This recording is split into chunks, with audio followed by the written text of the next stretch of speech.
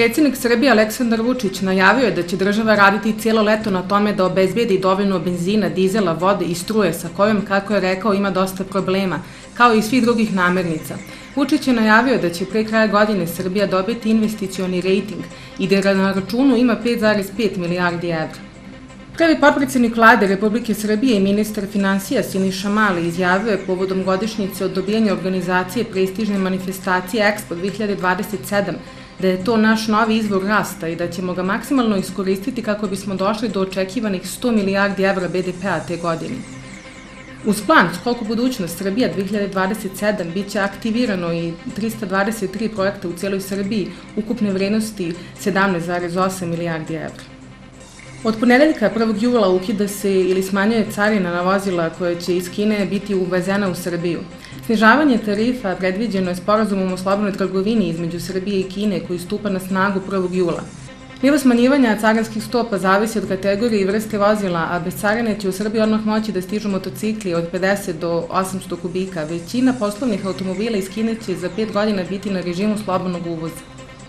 Pojedine analize će moći i preko leta da se obave, kako je najavio ministar zdravlja Zlatibor Lončar, a preventivni pregledi će nedeljom biti obavljeni redovno od septembra do kraja godine. Kolika je važna preventiva, Lončar je podsjetio na podatak da zbog kardiovaskularnih bolesti Srbija godišnje izgubi 55.000 stanovnika, a maligne bolesti odnesu najmanje još 20.000.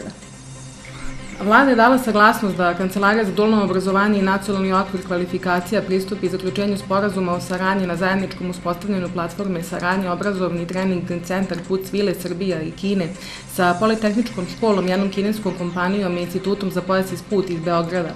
Posebna značaj ovog sporazuma je promovisanje i dalje razvijanje dualnog obrazovanja. Tokom vikenda bogat program na 7. Međunarodnom filmskom festivalu Ravno selo. Festival se održava uz podršku Ministarstva kultura, a tokom četiri dana biće prikazano više od 40 filmova iz 19 zemalja.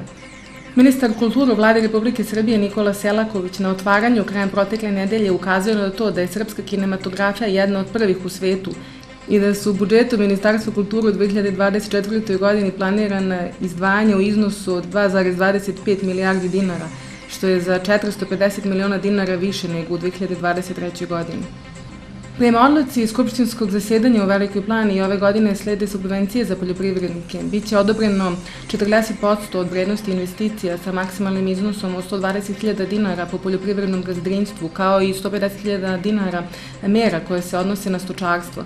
Za kratkoročne namenske kredite kod banaka opština će ove godine u celosti subvencionisati kamatu. Na pumpama u Srbiji litar eurodizela u narednih nedelju dana iznosit će 205 dinara, a litar benzina Euro Premium biće 193 dinara. Nove cene goreva biće na snazi do 5. jula u odnosu na prošlu nedelju i dizel i benzin skuplji su za 2 dinara. Za vikend kratkotrena stabilizacija vremena, pa se očekuje sunčano i veoma toplo vreme u nedelju, ponegde i oko 35 i 36 stepeni.